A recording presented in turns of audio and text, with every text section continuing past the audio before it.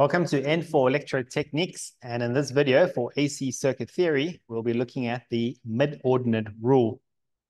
The equations that we'll be using to calculate for the mid-ordinate rule is the average values and the RMS values. For the average value, we have the mid-ordinate values divided by the number of mid-ordinates.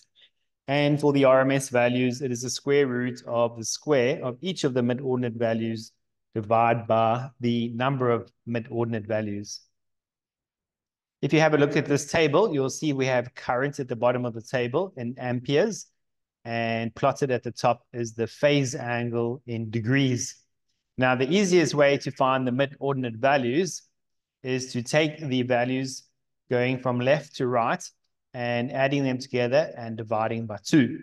So 0 plus 8,4 divided by 2 gives you 4,2. 8 comma 4 plus 12 comma 7 divided by 2 gives you 10 comma 55. 12 comma 7 plus 17 comma 4 divided by 2 gives you 15 comma 05. 17 comma 4 plus 16 comma 6 divided by 2 gives you 17. 16 comma 6 plus 4 comma 5 divided by 2 gives you 10 comma 55. And then our last mid-ordinate value is 4.5 plus 0 divided by 2 and that gives you 2,25. Now, this method is much easier than plotting the entire horizontal axis and vertical axis. You can see we have the phase angle on the horizontal axis and the current in amperes in the vertical axis. Now, if you had to plot the table, your sine wave would have this shape. And we have our mid-ordinate values now. So we can go ahead and calculate the average value. Because we're dealing with current, we have the letter I and the units is amperes. We substitute the values for the mid-ordinate and we divide by the number of mid-ordinate values and we get 9,933 amps.